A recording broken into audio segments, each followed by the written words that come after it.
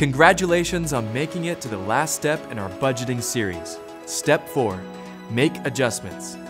By now, you know your current situation, you know where your money should go, and you have created a budget.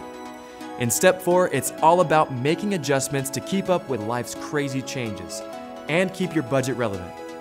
So, how often should you adjust your budget? The short answer is anytime your situation changes enough that your plan no longer fits or makes sense. To be clear, this happens fairly often for military families. Here are a few life changes that tend to require budget changes. A really big one is when your pay goes up or down.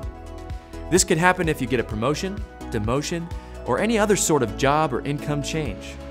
And if you're married, it's not just changes to your income that we're talking about.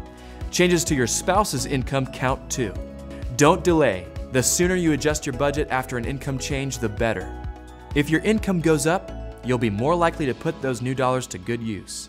And if your income goes down, you'll be less likely to overextend yourself since less is coming in.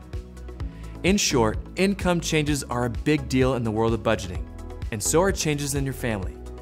If you get married or divorced, have a baby, or go through any other sort of family change, your expenses will likely change too. Fortunately, some of these changes can be seen a mile away, so you'll have plenty of time to make adjustments to stay ahead of the game. Here's another big life change that will usually require you to adjust your budget. You move. It doesn't matter where you move. You should always try to pick a place within your budget, keeping your total spending plan in mind. This may even be a good time to hit the reset button and get back on track financially if things have gotten out of hand. While these few items are far from being a comprehensive list of reasons to adjust your budget, they are fairly common for service members and their families. So there you have it, budgeting in four relatively simple steps. Know your current situation, know where your money should go, create a plan, and make adjustments. Remember, when it comes to building wealth, it's not how much you make, it's how much you keep that's important.